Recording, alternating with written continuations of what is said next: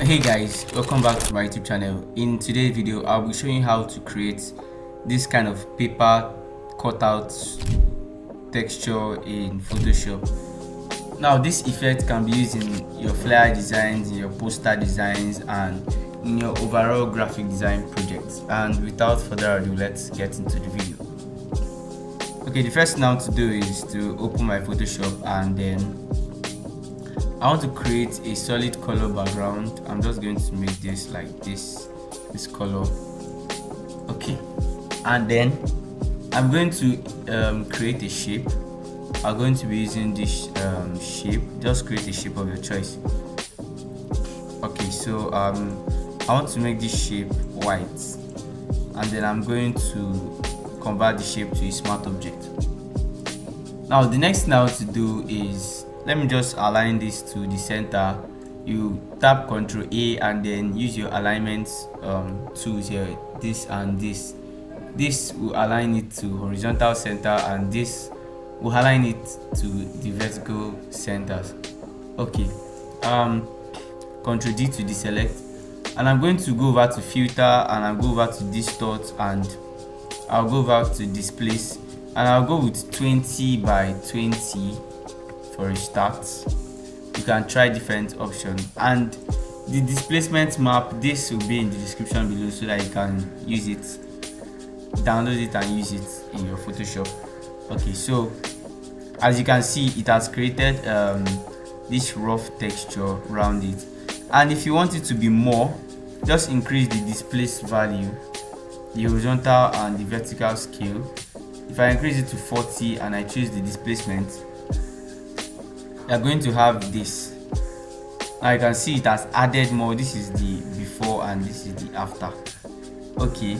Now you can also play around with this. You can make this 100 and then you go over to the same file and then it's going to yeah this is going to happen. Now you can you have seen what happened there. Now i'm just going to make this 60 and maybe make this 50 okay um, just try what works for you. And then when it works you're going to have this. All right so um, this is the effect now playing here. Now if i go over to my um, rectangle um, layer and then i double click on the layer i can now come back here and then i can make this shape whatever um, size i want. So i've reduced the shape now here and I've saved it with Ctrl S and Ctrl W. Now, if you if I go back to this, you're going to see this shape has reduced. You're going to see this shape has reduced. Now, see the before and the after. Okay, I also want to add um, I want to add a texture to this um, to this shape. Now, I'm going to go back to my textures and then okay, the texture I want to use is right here so I'll, I'll go over to here and then I'm going to select a texture that I'll be using for this. Okay now I've imported this and then I'm going to rotate this and resize it according to my shape. All right so I'm going to I'm going to enable my clip mask and still going to increase the shape a bit. All right so if I go back and increase this I just want to increase the height of this Ctrl S and Ctrl W to come out of this space. I will go back to this and you can see um, the effect here. Now because I want this effect to show very much more. I'm going to go back to my camera raw filter.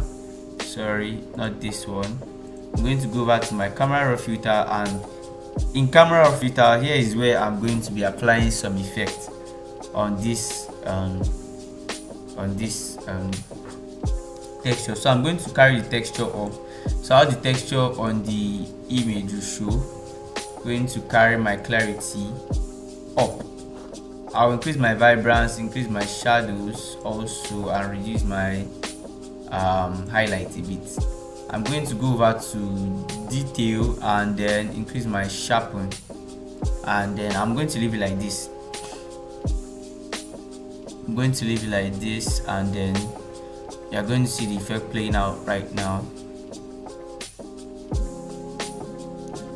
Okay now we're not done. I'm going to go to the original rectangle layer. And then here i'm going to add some layer styles like drop shadow which will make it look less flat than it is or than it, it, yeah than it is right now. I'm going to increase my noise a bit and my opacity. Okay. So we're having this. And i'm also going to add a gradient overlay on top of this.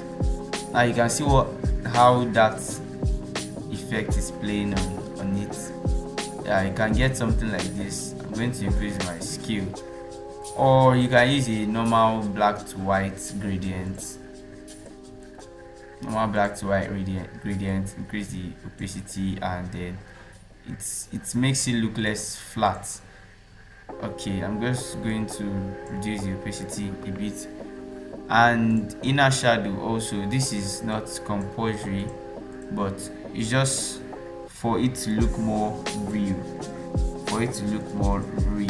Now you can make this black like this and you can see the edges. You can see the edges of this. If i if i put this off you can see the edges.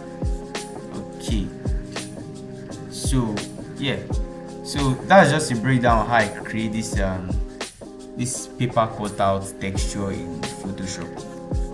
All right if this video helped you a lot just kindly subscribe to this youtube channel and like this video so that the youtube algorithm will push it out to other people who might want to watch videos relating to stuff like this on photoshop. And um, share this video to other people so that they can watch as well. And i really want to thank you guys for watching my videos for always supporting uh, you guys are the real deal. You guys are the real mvp and um, just stay tuned stay tuned on my youtube channel and yeah i'll see you in the next one. Goodbye